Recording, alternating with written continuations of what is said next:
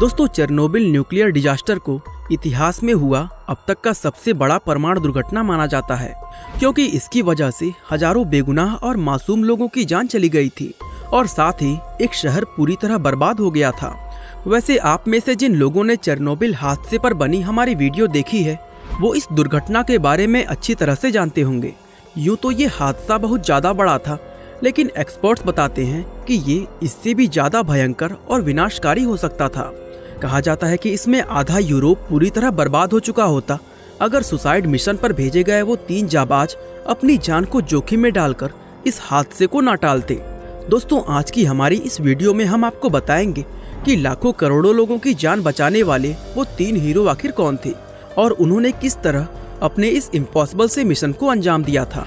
तो चलिए दोस्तों, अब बिना कोई देर किए इस वीडियो को शुरू करते हैं। और अगर आप इस चैनल पर नए हैं तो प्लीज़ चैनल को सब्सक्राइब करके बेल आइकन दबा दें।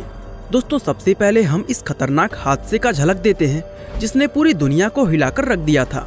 दरअसल ये दुर्घटना 25 अप्रैल 1986 के दिन यूक्रेन के चेरनोबिल शहर में घटित हुआ था। ये शहर यूक्रेन की राजधानी कीव से सिर्फ़ 90 किलोमीटर की दूरी पर मौजूद है और इस हादसे से पहले इस शहर में लगभग चौदह हज़ार लोग रहा करते थे। वैसे ये शहर आज भी अपनी जगह पर उसी तरह पड़ा हुआ है, लेकिन अब यहाँ पर कोई भी इंसान नहीं रहता।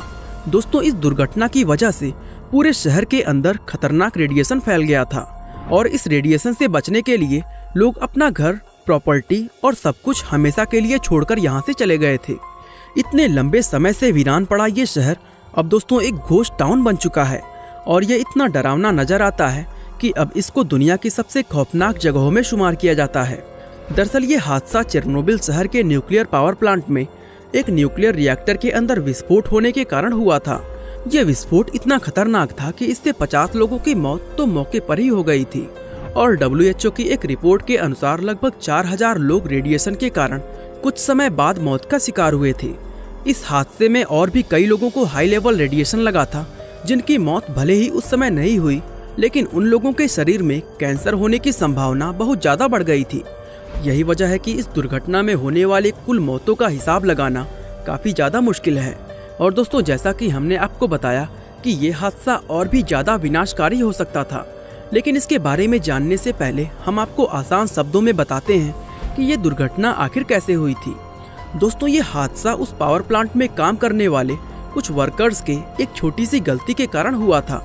दरअसल 25 अप्रैल के दिन ये वर्कर्स रिएक्टर पर एक टेस्ट परफॉर्म कर रहे थे। और इस टेस्ट के दौरान उनसे कुछ चीज़ें गलत हो गई जिसकी वजह से रिएक्टर की पावर अचानक से घटकर सिर्फ़ एक परसेंट रह गई। हड़बड़ाहट में वर्कर्स ने रिएक्टर की पावर को तेज़ी से बढ़ाना चाहा, लेकिन उनके ऐसा करने की वजह से पावर हद से ज़्यादा बढ़ गई और रिएक्टर का इमरजेंसी शटडाउन सिस्टम पूरी तरह फेल हो गया।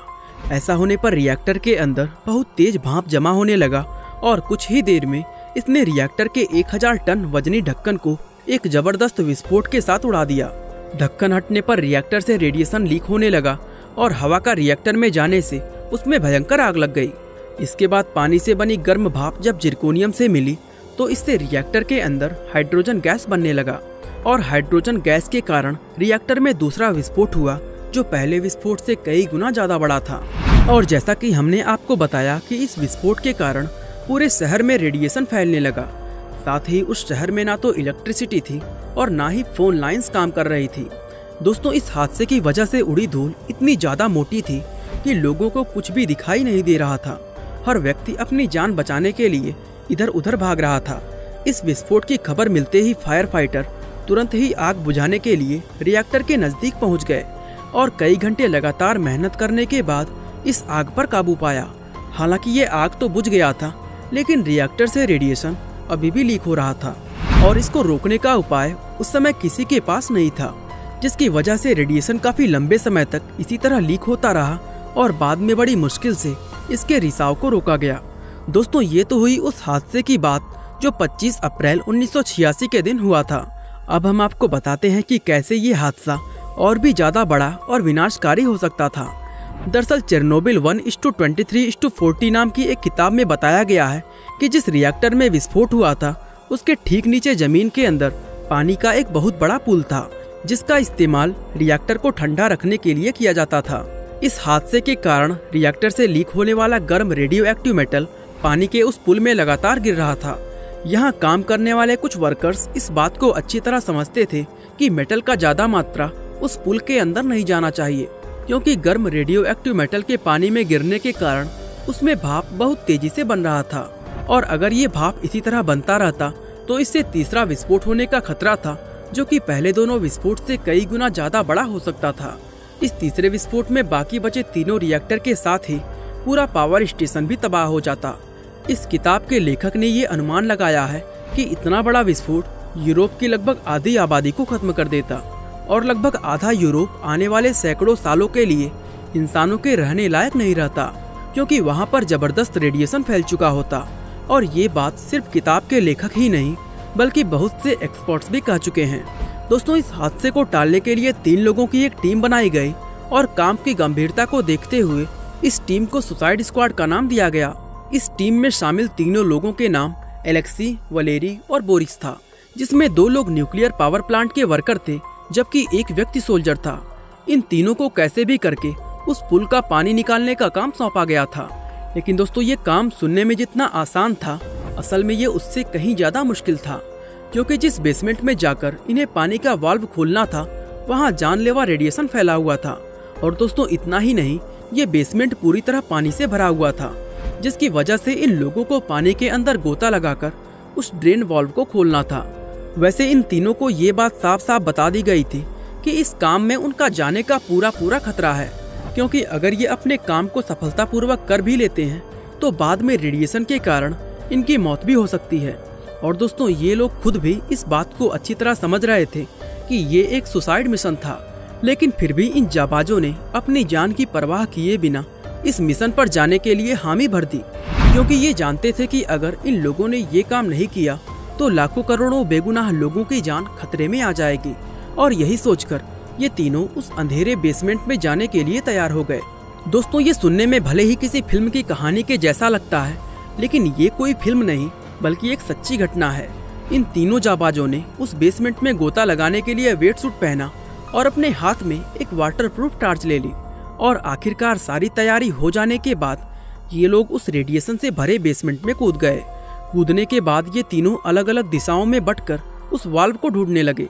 लेकिन पानी में उतरने के बाद इन्हें ये समझ आ गया कि बेसमेंट का अंधेरा इनकी उम्मीद से भी ज़्यादा था और ये छोटी सी टॉर्च इनकी कोई खास मदद नहीं कर पा रही थी। इस पूरे बेसमेंट में पाइप का एक विशाल जाल फैला हुआ था, जिसमें उस छोटे से वॉल्व को ढूंढना, घास के ढेर में सुई ढूँढने जितना बराबर था। लेकिन फिर भी इन लोगों ने हिम्मत नहीं हारी और अपनी पूरी मेहनत से उस वॉल्व को ढूंढते रहे। आखिरकार दोस्तों, काफ़ी देर ढूँढने के बाद इनमें से किसी एक व्यक्ति को वो वॉल्व मिल गया और फिर इन तीनों ने मिलकर उस वॉल्व को खोल दिया, जिससे पुल का पानी ड्रेन होना शुरू हो गया। बताया जाता है कि इस पुल में पाँच मिलियन गैलन पानी भरा हुआ था और ये तीनों जब अपने इस मिशन में कामयाब होकर बेसमेंट से बाहर आए तो बाहर खड़े लोगों ने तालियों और सीटियों के साथ इनका स्वागत किया। इन तीनों ने खुद की जान को जोखिम में डालकर करोड़ों लोगों की जान बचाई थी। जबकि दुनिया इस सबसे पूरी तरह बेखबर थी और किसी को इन लोगों का नाम तक पता नहीं था। जो लोग इस मिशन के बारे में जानते थे, उन सभी को ये लगता था कि रेडिएशन के कारण इनकी मौत बहुत जल्दी हो जाएगी। लेकिन दोस्तों, असल में ऐसा कुछ भी नहीं हुआ। इस मिशन के बाद भी इन लोगों ने एक खुशहाल ज़िंदगी बिताई और ये अपने आप में किसी चमत्कार से कम नहीं था। बाकी दोस्तों, आपका ऐसे जाबाज लोगों के बारे में क्या कहना है, हमें कमेंट करके ज़रूर बताएँ। बाकी आज के लिए बस इतना ही। वीडियो अच्छा लगा तो लाइक शेयर और चैनल को सब्सक्राइब करना बिल्कुल ना भूलें। आपका बहुमूल्य समय देने के लिए बहुत बहुत धन्यवाद।